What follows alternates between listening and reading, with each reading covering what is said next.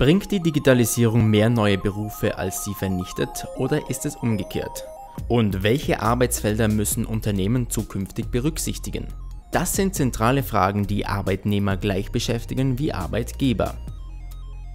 Professor Dr. Gunther Dueck ist Spezialist, wenn es um die Digitalisierung und ihre Auswirkungen geht. Auf dem diesjährigen Business Summit an der Fachhochschule Vorarlberg haben wir den Experten getroffen und ihn zum Interview gebeten. Wir wollten von ihm wissen, wie die Digitalisierung die Arbeitsfelder in Unternehmen beeinflusst.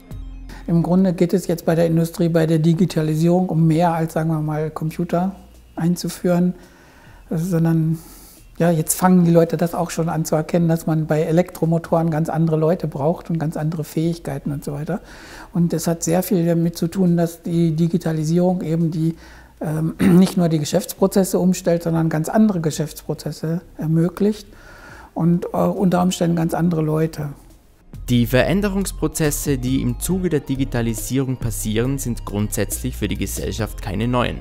Ja, das, das ist schon mal passiert in der Landwirtschaft damals in den 50er Jahren, wo der Trecker kam und dann plötzlich durch den Trecker äh, die Leute keine Arbeit mehr hatten, sind dann in Fabriken gegangen, in Autobau, in Tourismus, haben einen Skilift gebaut statt äh, Kühe gehütet. Äh, und dann kriegen die Leute zum Teil ganz andere Berufe. In den letzten Jahren konnten immer mehr Abläufe standardisiert werden. Arbeitsabläufe wurden so stark vereinfacht, dass sogar Kunden diese selbst ausführen können.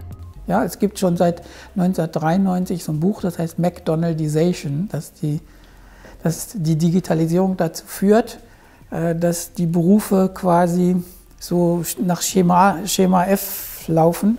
Und da, da verschieben sich äh, äh einmal die Kompetenzen als solches und manche werden dann irgendwie so ein bisschen abgewertet, weil sie automatisch gemacht werden. Und mit diesen ganzen Problematiken müssen sich die Leute jetzt verstärkt auseinandersetzen. Es wird also so sein, dass Arbeitsplätze, welche standardisierte Arbeitsabläufe haben, von der Digitalisierung wegrationalisiert werden. Auf der anderen Seite werden gerade in vielen neuen Arbeitsfelder neue Arbeitskräfte und neue Kompetenzen benötigt.